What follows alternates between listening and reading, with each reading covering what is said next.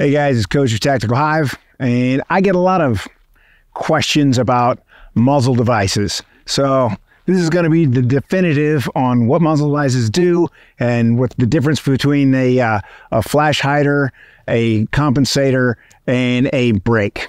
Right after this.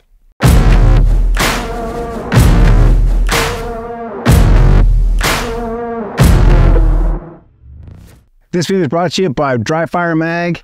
Uh, if you're going to dry fire in the striker fired world, you know, you don't want to be wasting time racking that slide over and over, building bad habits. So what Dry Fire Mag does is you can load it into your gun and it gives you that, it simulates your trigger squeeze. So when you're doing drills, you know, you can get that, that take up and the break and it's it's not quite as good as uh, shooting on the range, but it's as close as you can get. So check them out in the description below. and Let's get to it.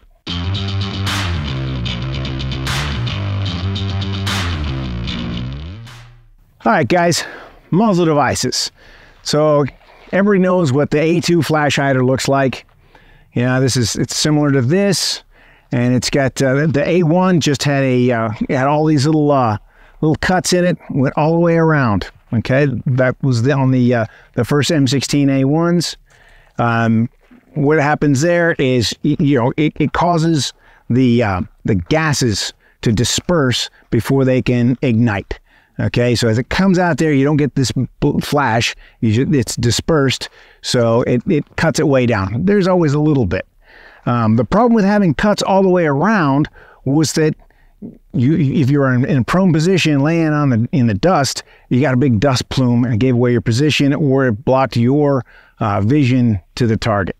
So the A2 uh, put the cuts in just the top and not the bottom, and that also helped a little bit as it's a little bit of a, a of a compensator because it would you know all that gas going up kind of pushed the muzzle down just that little bit. It wasn't as effective as uh, as some of the ones they have now, but for the day, it really worked well. Uh, this one here is from Knight's Armament, and this was uh, this was set up for our suppressors, so it has a little little notch there. So when you put the suppressor on, you could lock it in, and it would it would time to the same spot every time. So that's what a flash hider does. A flash hider just eliminates the flash. Now there's other ways to do it. Um, normally you can identify a flash hider because you've got the whole everything's bigger as it comes out. Okay, so you, whatever size this is, there's no there's no obstructions, there's no horizontal surfaces facing back at you. Now, you can have a vent off like this or have the splits like these. These uh, these are kind of like a tuning fork though. Every time you shoot, it gets a little ping. Some are worse than others. You know, you got big heavy ones, you know, and you got lighter ones. But all this does is dispersing the uh, the gases before they can ignite and cause that flash. So they don't do much with compensating. Um, if you have it aimed in a, in a certain area, then you get a little bit of a comp. Um, and then there's the, the muzzle brake. So a comp is going to force the gun. Normally recoil comes up. So it usually vents out the top and helps push the barrel down a little bit and just keep it steady so you don't have that muzzle rise as you're shooting. Now, brake has these horizontal surfaces. Um, let's see, where's a good one? Okay, so these are uh, there's some some really obnoxious ones on the market. Now, the more the more of these surfaces that you have, the more gas it catches. Now, when we talk about gas, that's the the explosives. So you know, you just had a, a controlled explosion going on in here, and that gas is coming out. And when it hits these, it presses against them. So you've got the force coming back at you, and then those gases hitting those horizontal surfaces actually breaks it. It, it, it keeps the the gun from recoiling as harshly back at you. Okay, so the bigger these are, normally, the more effective that braking action is.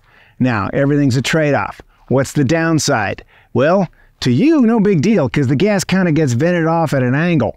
But that dude standing next to you, he gets the full brunt. And boy, there's some obnoxious ones out there. This one actually isn't that bad. But if you're just on the range, the guy next to you is he, he's pissed off. But for tactical teams, the guy next to you is also taking shots, and and if he's having to deal with that that muzzle blast off of your gun, it's less than ideal. Okay, so the compensator, um, the linear compensator, has so this is an SD Tactical. This is their regular uh, uh, three chamber uh, comp. And then uh, the blast cage, this is a, a, short one. They make them in different sizes, but it's got those horizontal surfaces along with these. But when you put this on here, now all that blast is going forward. So it's going forward towards the target or towards the threat. So if I'm shooting at somebody, I don't really care whether they can hear tomorrow or not, right? So, but I care if my family can't. Now, a lot of places in the country you can't own a suppressor. And if you can't own that suppressor, then this is the next best thing. It's not going to fix everything. It will still be really, really loud, but at least it will direct that blast forward towards your target or towards your threat. Now, volume is important. Um, so on my Mark 18 clone here, I've got the Surefire flash hider and then the Surefire Warden, which has the same connector as the suppressor. Just drops right on there and locks in. Okay, now linear compensators. I'm a big fan of a linear compensator because it controls that blast from the muzzle brake, pushes everything downrange, and they come in a bunch of different varieties. All right, you've got something simple. I think this is a Kaw Valley, and it's basically a tube with those little slots, right? Or little uh, horizontal surfaces, and it does it, the the the braking action isn't the best, but it does push all those gases forward, so you're not uh, you know blasting the eardrums off the guy next to you. Yeah, he, you know, even with Ear Pro, these muzzle brakes, some of them, boy, they'll just they'll, they'll not turn your hat sideways and they'll uh, you know loosen your fillings. It's they're horrible.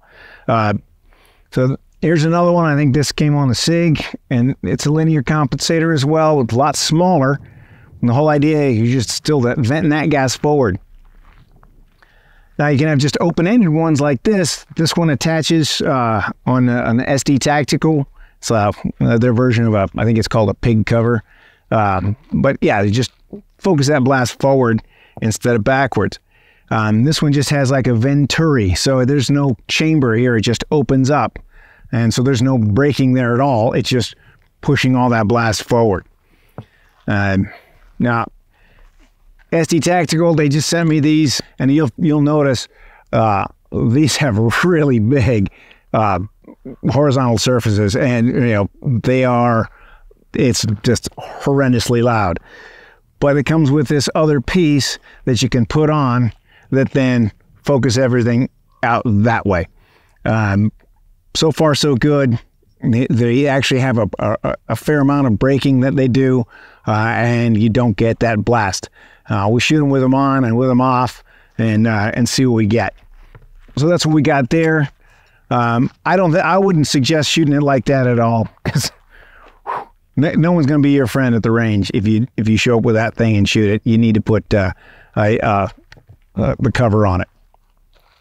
And then the last one here, this is uh, we've done this one before. This is the uh, my home defense gun. It's in nine mil, and it has eight inches of rifle barrel and, and then eight inches of pin and welded linear compensator on there. So it's just it's not a suppressor, but it soaks up that blast and pushes it forward. It's still really really loud, but you, don't have that beep after you know after every shot. Um, I have shot it without Ear Pro in. Uh, it, it's not a good idea, but it's not it, it's definitely not hearing safe, but it's way better than ringing your bell with an uh, an uncorked uh, uh, short barrel, you know, five five six. So anyway, that's just a quick rundown over what muzzle devices are. Right, flash hiders hide flash, muzzle brakes put that braking action on the recoil, and compensators jet the gas in some direction to help uh, mitigate the muzzle rise. Those are the biggest things here. There's a bunch of different ways to uh, to skin this cat. Uh, do some experimentation, and uh, find out what works for you, what fits uh, yeah, your, uh, your need.